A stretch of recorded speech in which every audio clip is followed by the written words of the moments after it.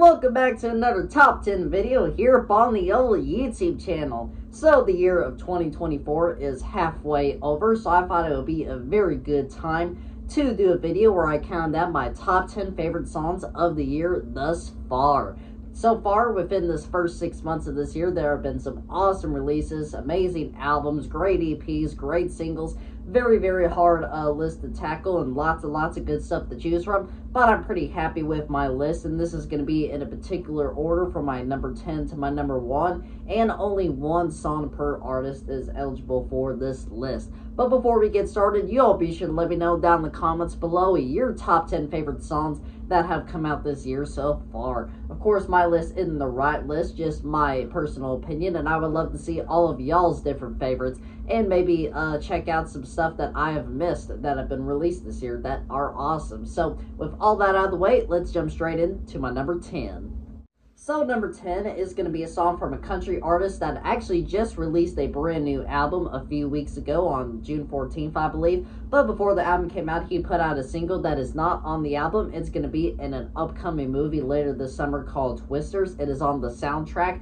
And the song I'm talking about is Ain't No Love in Oklahoma by Luke Combs. So far, there have been some pretty awesome uh, songs that are going to be on this soundtrack, but this one is definitely my favorite, and possibly my favorite group, Luke Combs song. Really, really great stuff. The thing that struck to me about this song first was definitely his vocal performance. Definitely a very, very good vocal performance. And the main guitar riff in the song is also really excellent. Just really great instrumentation throughout. And like I said, lots of great songs that are going to be on the soundtrack, but this one easily my favorite of the bunch that have been released so far. And there's been like five of them that have come out, I think. But Ain't No Love in Oklahoma by Luke Combs, that is going to be my number 10. So coming in at number 9 actually comes off my favorite album of the year so far, which is Be Right Here by Blackberry Smoke. Really great uh, modern southern rock band that has lots of good albums, but this one is definitely one of my favorites. And the song I chose off that album is a little bit crazy. I really love uh, this album and band in particular because it just has a very classic rock sound. Of course, since they are a southern rock band, there'll be lots of elements of some bands that I really love, like Lynyrd Skynyrd and ZZ Top and stuff like that.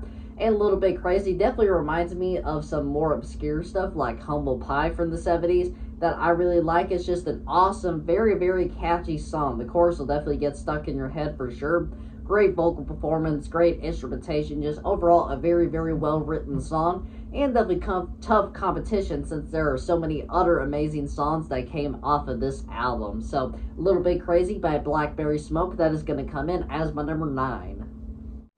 So, for number eight is an artist that I like more and more each single he puts out because he has a very good mix of country, but he can also do heavy metal and hard rock and all different types of genres. I'm talking about Hardy, and the song I chose is Psycho. He has a new album coming out in July. Of course, hadn't come out yet, but he's released multiple singles for this album, and Psycho is definitely my favorite of the bunch. There's been uh, there's been other great ones like Jim Bob and Six Feet Under, but Psycho is definitely my favorite. Really like the melodies and the vocal performances. Very catchy song, and love the guitar work on here. I just like this guy more and more as time goes on because I knew him or I got into him with uh, a lot of his country songs. You know, he's done songs with Lainey Wilson and Morgan Wallen and some even solo uh, country songs, but he's starting to dabble into more and more rock stuff, which I really like quite a bit. So, Psycho by Hardy, that is going to come in as my number eight. And so now for number seven, we have probably my second or third favorite album of the year. And the song I chose is Sober Fane by Cody Jinks, which comes off his album. I think it's called Change the Game. I forgot the title of the album, but there's so many different titles to remember. Can't remember all of them. But Sober Fane is an awesome, awesome song. I believe it's the opening track of the album. And the album has had some amazing, amazing songs. Cody Jinks definitely knows how to put together great albums and great songs. But Sober Fane is definitely my favorite. Really love the guitar playing on this song, and of course, his vocals are really great. Definitely one of my favorite newer country singers, without a doubt. Just overall, a very nice, chilled out, laid back country song to vibe to. Really awesome stuff. So, Sober Fane by Cody Jinks, that is going to come in as my number seven. So now for number six, we have a newer artist that has only put out a few other songs, and the artist is Will Moseley, and the song is Good Book Bad. for those who have watched American Idol, definitely know who this guy is since he got second place for this season. I got into American Idol quite a bit the last two seasons, and I decided to check out this song whenever it came out, and I really loved it. Really, really catchy song, really, really great lyrics, and a great vocal performance from Will Moseley great instrumentation. I just really fell in love with this song, and of course, it has become one of my favorites of 2024 so far, and definitely excited to see what he puts out next because I definitely have high hopes that it will be another awesome banger track, just like Good Book Bad, which is going to be my number six. Before I give y'all my next 5 picks for this video, down in the description below, I'll have a link to where you can go check out my top 10 playlist. If you highly enjoyed this video, there will definitely be something else y'all will enjoy quite a bit in that playlist. I got top 10s for all types of stuff, songs and albums throughout various decades, all types of stuff. So if you enjoyed this video, I highly suggest you go check out the playlist in down in the description below. And with that out of the way, let's get into my number 5. So for number five, we have another American Idol related song, and it is going to be from a guy who was on the last season before this last one in 2023. And the song is Makes Two of Us by Colin Stough. I believe he has an EP coming out, not an album coming out, but he he's released a couple singles for it, and this is one of them. It Makes Two of Us is definitely my favorite out of the bunch that he's put out. He also put out Sober a few weeks after this one. Another really, really great song, but this one definitely my favorite. Really love his vocals on here. He was definitely my favorite singer uh, from the last season, and he got third place, I believe. And he's just had some amazing, amazing songs. My favorite song of 2023 was actually one by him, I Still Talk to Jesus. Really love that song, and this one is definitely another awesome banger track from him. Really great uh, stuff right here and it is going to be my number five. So for my number four is definitely the biggest song out of this bunch without a doubt, and that is going to be I Had Some Help by Post Malone and Morgan Wallen. I've really liked, uh, I've always really liked Post Malone, but I'm not really a huge fan of rap music or hip hop. So a lot of his music has never really been my fame, but I've always liked him as a person, and of course he's always had lots of really great rock influence. And I've liked some songs by him uh, throughout the years that he's put out, like Circles, which is very guitar and classic rock based. But when he started doing more and more guitar music, and then when he started doing his transition in the country music, is when I really, really started to like him a lot, lot more. Because he could definitely do multiple styles very well. But I'm a big fan of country music, and he does country music pretty well, so I'm definitely going to really, really like it. He also put out a song with Blake Shelton this year, which was another really good song, but I had some help. Really, really awesome stuff. And on top of all that, Morgan Wallen is definitely one of my favorite newer artists without a doubt. So, of course, with him on the song, definitely adds to it quite a bit. And both of them do a fantastic job on the song. Great vocals, great melodies. Just one of my favorite, uh, you know, duo songs of all time, without a doubt and it is going to be my number four favorite song of 2024. So now we are at my number three, and earlier this year, back in January, I decided I was going to check out a ton more new releases than I had in the previous year, 2023. And so I've listened to a bunch of different stuff that I haven't really listened to before by artists I've never really listened to before.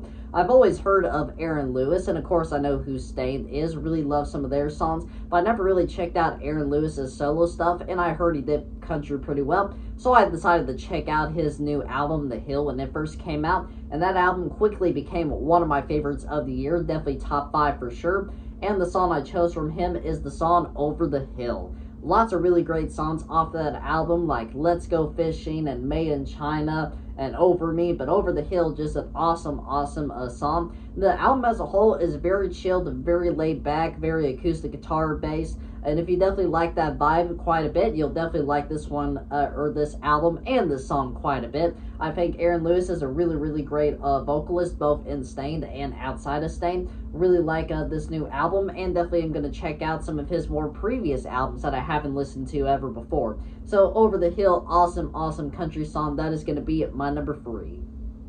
So now we have another artist whose album is coming out in July, so of course not out yet but has released four new singles in preparation for it, and I've really liked all of them. But my favorite of the bunch is Damn Near Normal by Koe Wetzel. Koe Wetzel is definitely one of my favorite new uh, artists for sure. Uh, outside of this new album coming out, he has five other albums out, all of which I think are pretty, pretty good albums. Uh, you know, especially the last few. But Damn Near Normal, really, really great song. Definitely my favorite out of the bunch of singles he's put out. And he's put out some really great ones. He's put out High Road and Sweet Dreams, Nine Lives. Definitely really looking forward to this new album. And this is definitely one of my favorite Koe Wetzel songs, without a doubt. Quickly became one of my favorites. Very catchy song, great lyrics, great vocals, everything you want, all in a good song. So Damn Near Normal by Koe Wetzel, that is going to come in as my number two. Before I give y'all my number one favorite sauna of 2024 thus far, I'd like to let all of y'all know that down in the description below, I'll have a link to where you could go check out my Instagram. I'm pretty active over there. I respond to comments and DMs a lot more than I do on YouTube, and I post every time I upload a video. So if you don't want to miss a new video and you like what I do on this channel and want to support me elsewhere, I would highly appreciate it if y'all followed the link down below and gave me a follow over yonder on Instagram. So with that out of the way, let's get into my number one. My number one was a pretty easy choice. It came out very, very early this year since uh, the album came out in March, I believe. And the song is All the Way by Shane Smith and the Saints. I've always heard of their name whenever they started becoming more popular, but I never really listened to their music. This was the very first song I ever heard by them, and it came out in January or February, I believe, before their album Norther came out, which is definitely one of my favorite albums of the year. And when I heard All the Way, I quickly fell in love with the song. It's a ballad type song, I guess you would say. Pretty much just piano and vocals, but you have great lyrics, great vocals, great messaging, and awesome piano. Really love this song and uh, one of my favorite uh, songs with piano without a doubt for sure. I'll definitely take Hell of a Song to top this one off for me since I've grown to really, really love this song quite a bit. But I definitely have a strong feeling it will remain my number one of 2024 once we reach the end of the year. But anyhow, thus far, uh, for the first six months, it is definitely my number one. So this is going to be my top 10 favorite songs of the year 2024 thus far. Within these six months, there's been lots of great releases, so I'm sure we're all going to have very different opinions and different releases, but I would love to see all of y'all's different picks down in the comments below. Be sure to do that and be sure to check out the top 10 playlist and my Instagram down in the description below.